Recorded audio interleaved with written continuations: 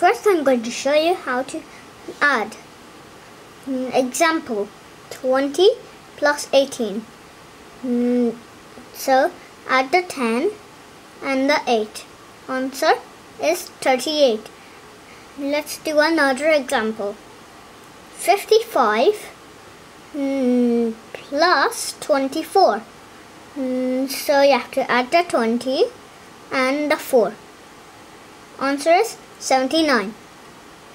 Let's do another. Now 68 plus 31. Add the 30 and the 1. Answer 99. Now let's subtract. Example 99 minus 45. So you have to minus the 40 and the 5. Answer is 54.